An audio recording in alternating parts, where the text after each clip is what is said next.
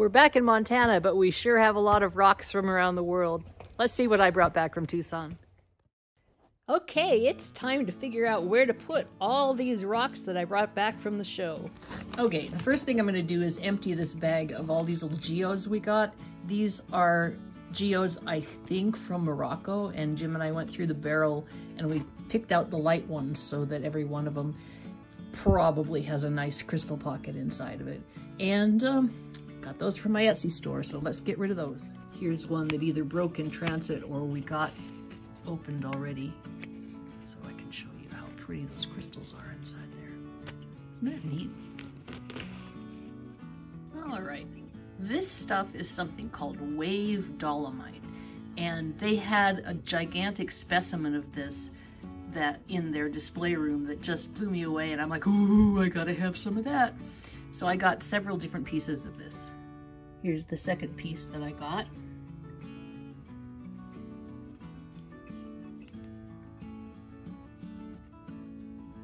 It's gonna be really fun and it takes a really nice polish too. So I can't wait to see what the slabs look like.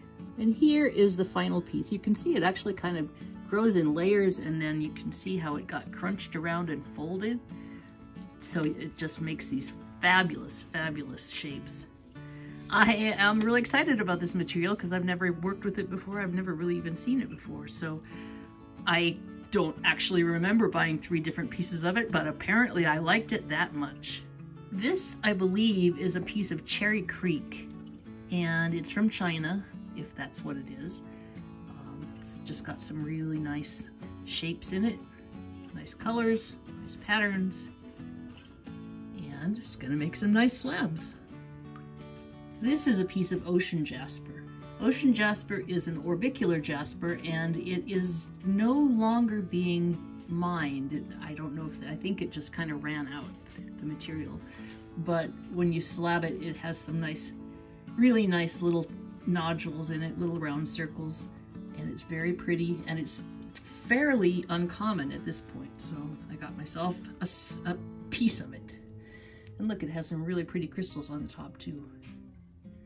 I haven't decided yet if I'm going to slab this or if I'm going to just save it for the future as an investment. So stay tuned. I'm not absolutely positive. This is more Australian material. I'm not absolutely positive, but I think this is something that they call Noreen, Noreena Jasper. And just the colors on it are so pretty. Anyway, I'll double check and put the name up on the screen because I don't want to mislead you, but I sure like that chunk. Very cool. And I just love this. I bet you probably know what it is. It's called Mookaite. It is from Australia, and it is from Mooka Creek in Australia, which is why they call it Mookaite. And look at all of the different colors in this piece. It's a nice kind of rectangular rock, so I can just stick it in the stick it in the slab saw and just cut along and make nice, nice slabs out of it. This is a piece of tiger iron. Tiger iron is different from tiger eye. Maybe not quite the same chatoyance, but it sure is pretty. And heavy too. Can't quite remember what this jasper is called, but I'll look it up and then I'll tell you on the screen but it is very pretty. I really kind of went crazy buying some Jasperlicious Jaspers at this show. This is going to make some nice slabs as well.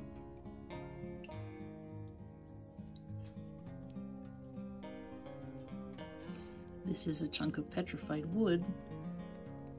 I really need to write these things down when I buy them because I'm just not even sure what kind of petrified wood we're dealing with. I think maybe it's Arizona rainbow wood. I hope so, because that's stuff I really like. These folks gave me a nice little bag for these geodes. And again, I'm not sure where these are from, but we'll crack them open so I can, I think they've got a pink, a uh, pink purple interior, so we'll crack one open and see what it looks like. Here's a bag of tumbled cabochons that I bought at a wholesale booth. Basically, I want to use these as blanks for doing polishing of cabochons and doming and polishing. And there's just such a great, great assortment of them. I felt like it was worth it. I think this was like 60 $70 maybe for this bag. And, uh, and so when they are made into actual cabochons instead of just tumbled ones, I think that will be worth it. Here is another thing we got at the hotel show, just some really pretty amethyst. I am going to be working on making some tumbling, tumbled stones available, and so I bought some of these to get started on that. It's awfully fun going through these because I actually have forgotten that I bought some of these. This is some fire agate that's kind of already pre pre-roughed so that you can see where the fire is. I should be able to make a couple nice pieces out of this one. This is what fire agate looks like on the other side. And then the fire, ooh, look at that eye. Isn't that gorgeous? Pearly fire. That's really nice. My phone is having a hard time figuring out how to how to focus on that because it's kind of dimensional. Here's another bag of assorted tumbled gemstones that are cut already into a cabochon shape. They are all ovals, so those of you oval haters out there will be disappointed, but they are great for getting started with. Nice. Look at the polka dot. I think that's like a Dalmatian stone. Some unakite. Some blue jazz, blue Brazilian blue lace. Just a really nice variety. Here's another thing that I'm pretty excited about. These are agates from Botswana. You can see they all have this gorgeous shadow banding and some of them have amethyst inside of them, quartz. But this is kind of basically what they look like. But then some of them, you don't know what they look like because they're sort of pink on the outside and they, you can't see the banding. So probably if you cut this, it would have, probably if you cut this, it would have banding, but you just never know. With rocks, sometimes they surprise you. Anyway, I bought these I bought a bunch of this because I know that a lot of my viewers and a lot of my people that shop at my Etsy store don't have large saws. They just have like little tile saws. And I wanted to provide more of the stuff that is easily cuttable on that size saw. So I found these and I'm like, ooh, let's get this for the Etsy store. Isn't that beautiful? When I was at the Miners Co-op, I stopped at this fellow. His, his name is Oregon Rockhound or something like that and he had Yowah, Yowah nuts at his place. And this one is a whole nodule, so you can't really, can't really tell whether it's any good or not. So it's kind of a gamble. But I did see, come on phone. I did see that it had, it has some pattern in the front, has some pattern over on the other side. And so I'm hoping that maybe it goes all the way through. But this is the only one I got that was kind of like, well, we'll see how it goes. I'm excited. This one is a little bit more of a sure thing. You can see the beautiful opal just right there. And then on the other side, there's more. So it is possible that maybe it goes all the way through. I'll have to look up how to cut these because I've never had larger nodules of this stuff before. And then when you polish it, ew, what a mess it makes. It's all muddy and terrible, but absolutely worth it. Look at that. Isn't that something? Then I got some that's slightly smaller, but has this really cool crackly pattern here. And then it's got the beautiful reds and up on top here. So I think that the pattern actually, oh, look at that. I think that the pattern actually kind of goes around the edges. Oh man, I just caught a little flash there. I'm really excited about this one as well. And then these are just some little ones. I love, love, love Boulder Opal. I actually kind of almost like it better than the regular, you know, the Lightning Ridge or any of that because it's, it's seems very organic, you know, seems very natural. And it forms in these cracks, so you never have just a big chunk of opal. There's always other stuff with it as well, and I really like that. This is Purple Passion. And this must be, they must be kind of running short on this stuff because I there was a whole big huge box of it last year at this at this rough vendor that I went to. And this year they didn't have it at all. I bought some smaller chunks of this so that I could so that I could have it on my Etsy store. Basically, the, a lot of the stuff that I did was was so that I could offer things to people who couldn't be there, who would like to have some really pretty stuff. So, Purple Passion.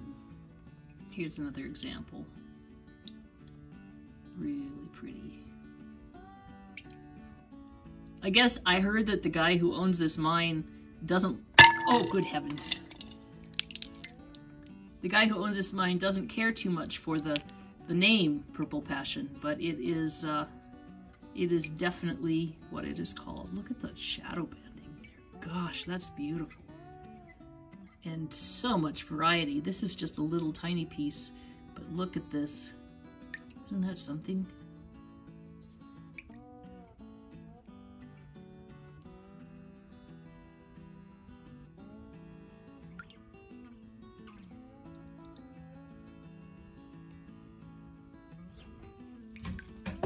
This is some dinosaur gem bone.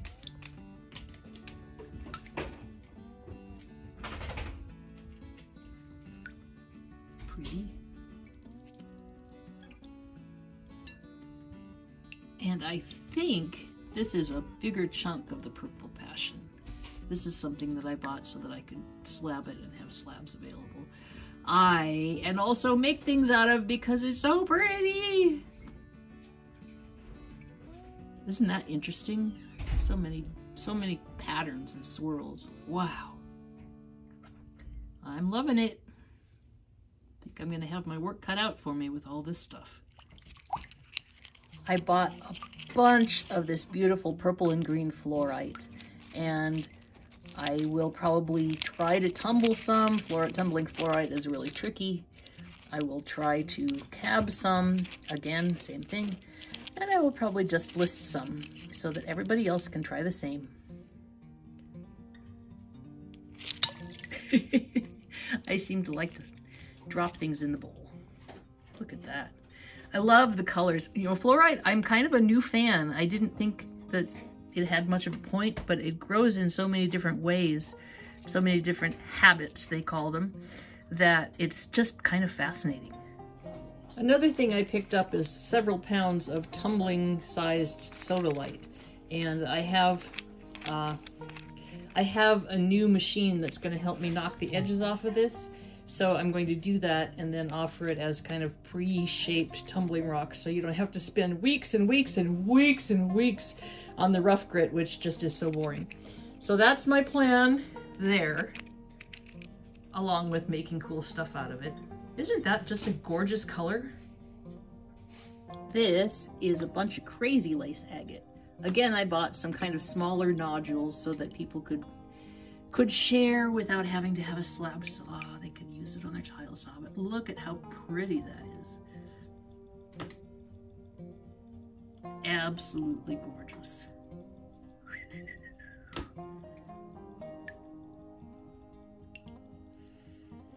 I love Crazy Lace example. I picked all of these out from the from the bucket so that they all have patterns on them.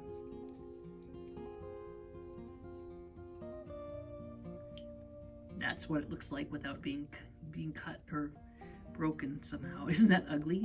And then you turn it over and look at what it really looks like. Very pretty. And bubbly. Ooh, some of these have a lot of quartz crystals on them, which are pretty by themselves. But then you get down and look at this stuff. Holy moly. Look at that. I'm loving it. Every single one of these is different. Different colors, different patterns. Now, when I say shadow banding, that's what this is.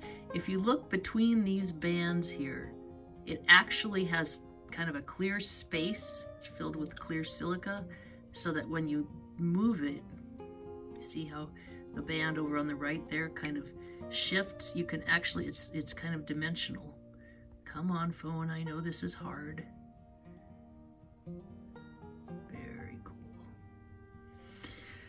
Anyway, that's pretty close to the end of what I got from, oh no, I didn't show you the opals. I better get those out. And this was my birthday treat to myself. I bought these at, oh gosh, I can't even remember. It was the very last show that we visited. I love Ethiopian opals the price was definitely right on these. They were a dollar a gram.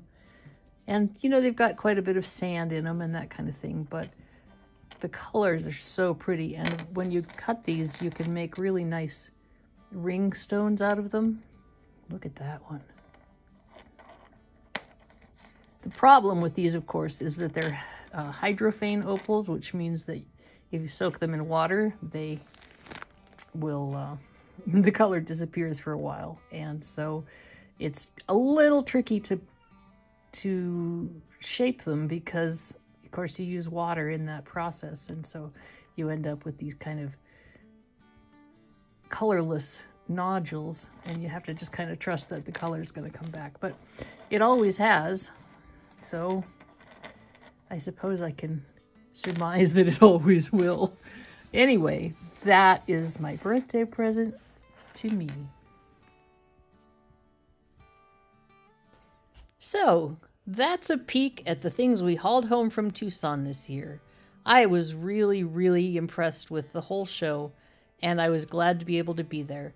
Thanks for joining me. If you want to share in the treasures, do check out my Etsy store, Katydid Rocks. Subscribe if you haven't, and keep on doing.